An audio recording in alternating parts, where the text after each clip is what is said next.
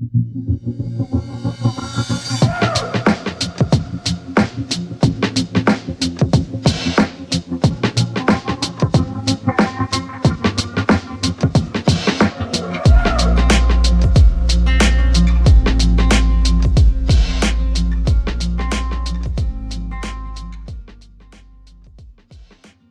Всем привет! Буквально на днях ко мне приехал новый защищенный смартфон Дуги S68 Pro. В последнее время популярность защищенных девайсов растет, и поэтому многие китайские компании сфокусировались на выпуске именно таких продуктов. Дуги не стало исключением, и сейчас защищенные смартфоны чуть ли не главное направление деятельности компании. Модель, о которой мы сегодня поговорим, позиционируется производителем как такой продвинутый мультимедийный комбайн, а у которого есть NFC, производительный процессор, процессор и тройная камера. Плюс ко всему, что нетипично для защищенных смартфонов, его оснастили беспроводной зарядкой.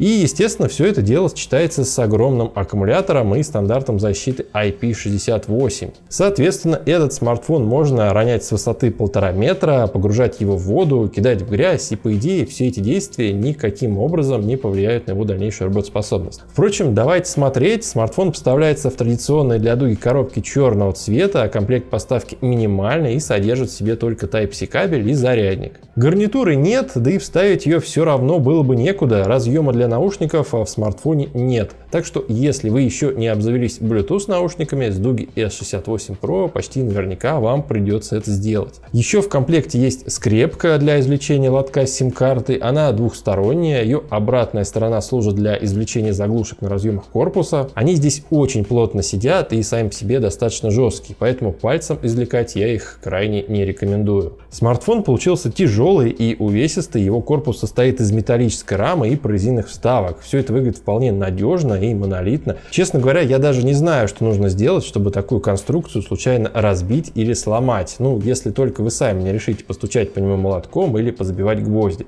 Хотя я уверен, что последнее действие, ну, я имею в виду забивку гвоздей собой, он выдержит. Задник смартфона выглядит футуристично и напоминает скорее какой-то гаджет из научно-фантастического фильма. На нем разместился тройной модуль камеры с металлической окантовкой и сканер отпечатка пальца. Срабатывает он достаточно быстро, но как альтернативу можно использовать разблокировку по лицу. По периметру дисплея есть небольшая пластиковая прокладка, а на ней также два выступа в верхней и нижней части. По идее, если смартфон падает стеклом вниз на ровную поверхность, принять удары на себя должны именно эти выступы. Впрочем, стекло тут тоже непростое, это Gorilla Glass четвертого поколения, и в общем-то оно защищает всю лицевую поверхность девайса.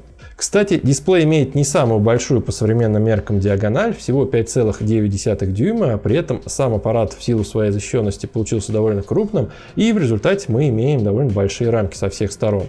Но к самому дисплею претензий нет, он выполнен по технологии IPS, обладает неплохим запасом яркости, да и разрешение у матрицы Full HD+, что для такой небольшой диагонали сейчас отличный показатель.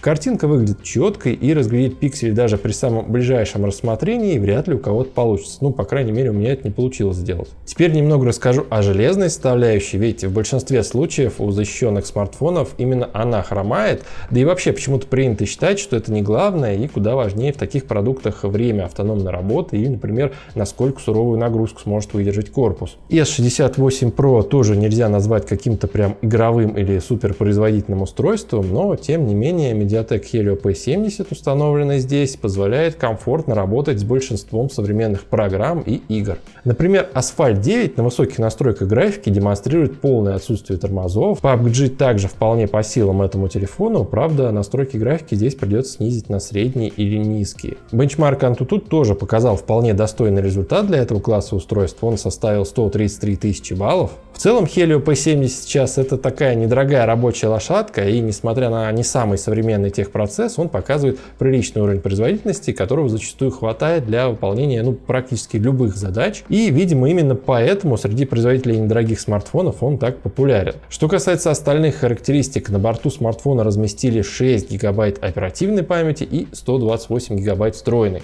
Объем внушительный, можно загрузить огромное количество информации, каких-то других модификаций в продаже я пока не встречал. Смартфон работает на девятой версии операционной системы Android. Дуги использует свой фирменный лаунчер, он немного меняет внешний вид некоторых иконок и добавляет в систему несколько приложений. Среди них транспортир, уровень, шумомер, отвес и еще несколько весьма специфических, в общем-то, для современного смартфона приложений. В остальном это обычный Android. После первого включения система обновилась по воздуху. Я думаю, что это далеко не последнее обновление, учитывая, что смартфон совсем недавно появился в продаже. Вообще, в идеале здесь хотелось бы увидеть 10 Android, но официальной информации на эту тему пока нет. Далее немного расскажу о фишках, которые нетипичны для большинства защищенных гаджетов. Во-первых, камера в дуге S68 Pro установлена тройная. Разрешение основного сенсора 21 мегапиксель, а двух вспомогательных 8 мегапикселей. Несложно догадаться, что они нужны для широкоугольных и портретных фото, качество которых здесь довольно среднее. К сожалению, погода в Москве в последние дни не радует, на улице пасмурно и сыро, поэтому теста в идеальных солнечных условиях произвести не получилось. А вот при небе затянутом тучами фотографии выглядят ну прям очень средние, как по уровню детализации, так и по уровню шумов.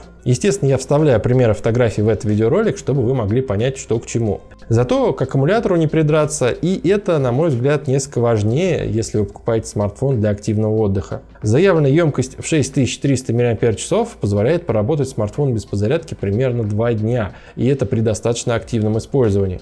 Если пользоваться исключительно в режиме звонилки, то хватит аккумулятора на все 4 дня. В общем, автономность одна из самых сильных сторон Дуги E68 Pro. Еще у аппарата есть NFC и беспроводная зарядка.